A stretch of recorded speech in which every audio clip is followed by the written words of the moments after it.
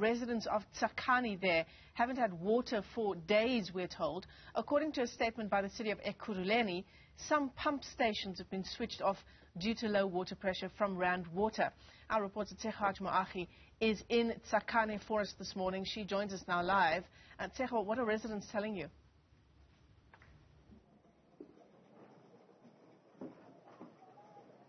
Well, good morning, Michelle. I mean, very frustrated residents in this Tsakane area. We do understand that areas such as KwaThema and Geluksdal, also in the East Rand, did not have water for quite some time. It's back now.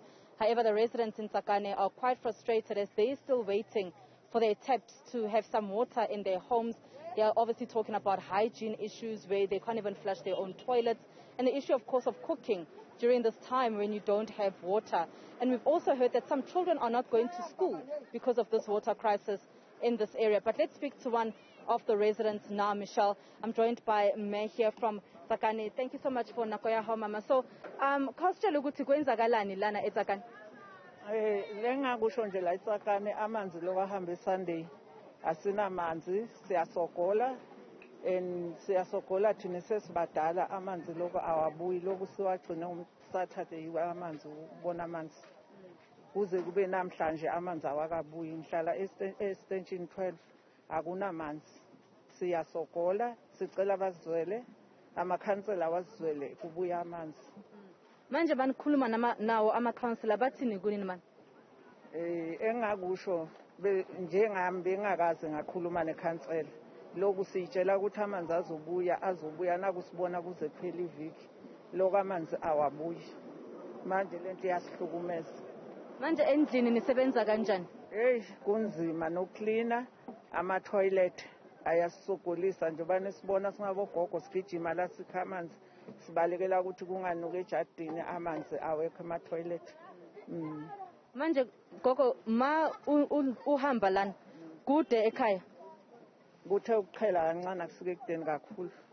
Eh so uza ni uza how often uza how often uzolanda amanzi lana ngenza ekuseni ngibuye ntambama ngoba phela mangiwakha manje ngiyoklina ngenze yonke into. Iwashing yona vele angikhuluma ngayithinti nje lokhu ipakelena sikhona ukwasha eh Alright, ngiyabonga ngiyabonga kakhulu mama. Silungile. She's a resident here, Michelle, just giving us details about, you know, her situation. Um, and she's just really said that, you know, in the home, she can't even clean. She hasn't done her laundry. The last time that they saw drops of water in their home was on Saturday. Um, and, you know, she says that she doesn't live too far from here, but she is an elderly woman and she has to travel quite some distance to get to this fire station.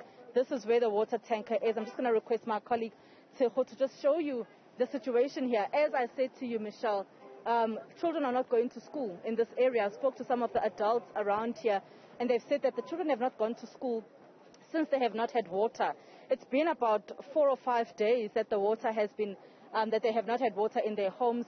And as we heard from Silungile Mtimkulu, the resident here, that the issue, of course, is, you know, now what do they do with the cleaning situation, cooking situation, and of course, hygiene in particular, because we know how important water is for hygienic purposes. So this is the situation here at this fire station in Tsakane, and we've been, we'll be trying definitely to get hold of the city of Ekurhuleni just for an explanation as to what's going to happen and the way forward. Michelle? Tseho, thanks very much indeed for that update. She's live to us there in Tsakane. Now, if you've been tracking um, our coverage this morning,